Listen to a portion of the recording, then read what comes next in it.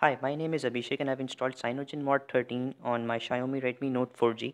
CyanogenMod 13 is a custom ROM based on Android Marshmallow and comes up with a lot of features along with what you get in the stock Marshmallow. So if you just go into the settings and yeah, see the Android version is 6.0.1 which is the latest version of the Android Marshmallow and the CyanogenMod version is 13.0. It's an unofficial build and but it is very stable so i'm using it. So the cyanogenmod 13 has an advantage that it comes up with extra customizations that the android marshmallow doesn't offer. So first of all is that we can choose whether we want an on-screen keys or not. So i do not like the way the hardware keys are given by the xiaomi and the way they function. So i can just disable them and enable the on-screen keys and even if you like the hardware keys then there are some things for you. So you can choose how long the hardware keys will switch on or how long will they be illuminated before they switch off. And they can also control the brightness of the on-screen keys and you can customize how long they will be awake before they switch off. And if you turn on the on-screen keys then there are other options such as you can enable the left-handed mode. So if you are a left-handed person and you this feature will be very helpful for you. Other than that you can choose whether the power button will end the call or not or you can choose whether the volume button is going to unlock the phone or not. And that's something which is very nice. Other than this we have the features in the status bar so you can choose uh, where your clock appears.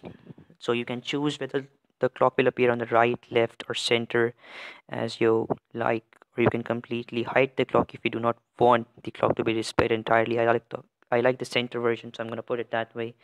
You can choose whether the battery appears in a traditional icon or a circle or simply a text if you want to. You can hide the uh, battery icon entirely if you do not like it like i've just hidden it but i like the circle one so i'm going to put it back. You can choose whether you want to display the weather information on your notification area or not. So see i've turned it on and it's showing the current weather in delhi. You can turn it off if you do not like. You can choose whether you want to display the battery percentage or not. You can put it inside the icon or outside the icon as you wish or you can completely hide it if you do not want the battery percentage to be displayed. Other than that you can uh, also have a quick pull down feature which is very nice. I like it. So with the quick pull down feature turned on swiping from the right will directly take you to the notification toggles. And there we go. And if you swipe from the left it's just gonna show you the notifications that are there. So that's a good thing. So you save a time down there. That's a good feature that they have added. Other than that the apps are movable to the storage external storage. So see i have u- using a 32 gb memory card and i've put some apps on the memory card and they are working very fine. So that's something which is nice. You can put apps to the external memory card. And since 8 gb is not very much to use i am very very very happy with this feature. Other than this we have the developer feed options. Uh, in the developer upper mode there's one nice feature. And in fact there are two nice features that i like. One is that this rom is pre-rooted so you don't have to install third-party apps to root your device. You can simply go to root access and enable it if you want or you can disable it anytime if you do not want the root access anymore. And the other good feature that i was talking about was the multi-window feature. And in the multi-window feature i can snap multiple windows at the same time. So yeah here is the multiple window and if you enable the multiple window I can snap two windows side by side. So let's just try this one out. So I'm gonna snap Google Chrome with the Google app. And let's open Google app.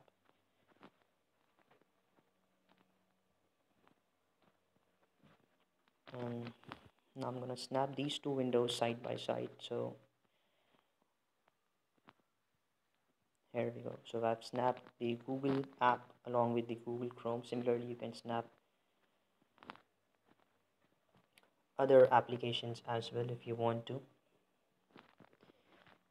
and other than other than that, that this comes up with Android Marshmallow features. So with Android Marshmallow, now the app's gonna take the permission from the user whenever they're gonna use a service. So if suppose an app is going to use your location, then it's gonna give a pop-up and asking you to authorize that usage and you can choose which app's going to use which permissions and you can modify them at any time. So for example if i'm going to open say uh, google chrome and see which permissions this app use. So this app uses only the storage permissions.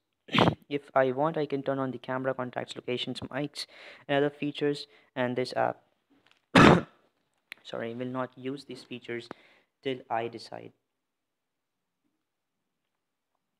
Other than this, the battery backup of Android Marshmallow has been significantly improved thanks to the doze feature that they have added.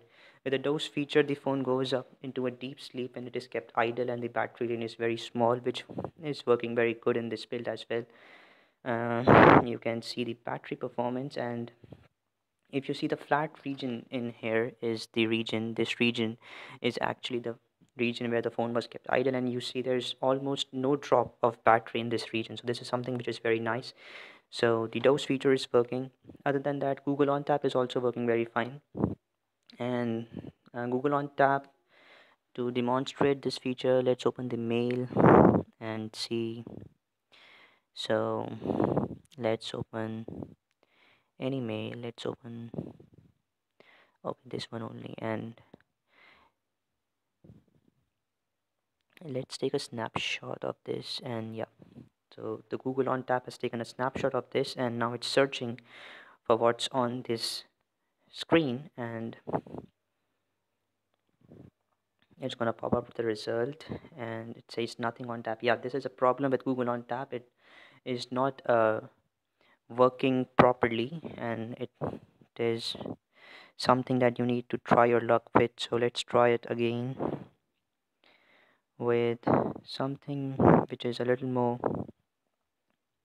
easier for this Google service to demonstrate. So let's open say what should I open? Let's open another email. So